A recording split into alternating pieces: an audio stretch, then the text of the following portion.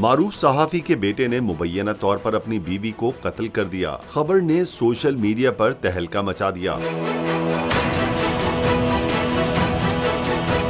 Islamabad police के तर्जुमान की जानब से जारी बयान में बताया गया है कि इस्लामाबाद के इलाके चक शहजाद में सीनियर सहाफी अयाज मीर के बेटे शाहनवाज ने अपनी बीवी सारा को कत्ल कर दिया है। पुलिस के सीनियर अफसरान और फ्रांसिक टीमों ने जाय वकुआ पर पहुंचकर शवाहिद इकट्ठे कर लिए हैं। पुलिस तर्जुमान के मुताबिक अयाज मीर के बेटे शाहनवाज को गिरफ़्तार कर लिया गया है और मकतूला सारा की लाश को पोस्टमार्टम के लिए पिम्स अस्पताल मुंतकिल कर दिया गया है।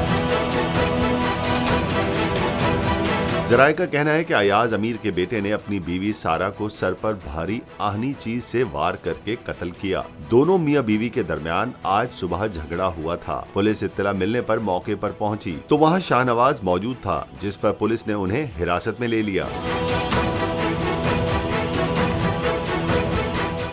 मैं हूँ इमरान रियाज खान। अब आप मुझे देख पाएँगे सिर्फ़ बोल न्यूज़ इमरान रियाज खान साहब जो है वो बोल फैमिली का हिस्सा बन गए हैं। बड़े अरसे बाद किसी चैनल ने हौसला किया है। तो मुझे ऐसा लगता था कि हमें बोलने की इजाज़त नहीं मिलेगी। लेकिन बोल ने डिसाइड किया कि बोलने की इजाज़त वो लेकर देंगे। मुझे बोल की एक चीज़ बहुत अच्छी लगी कि बोल ने कैटेगोरिकली कहा कि जो करना है करो।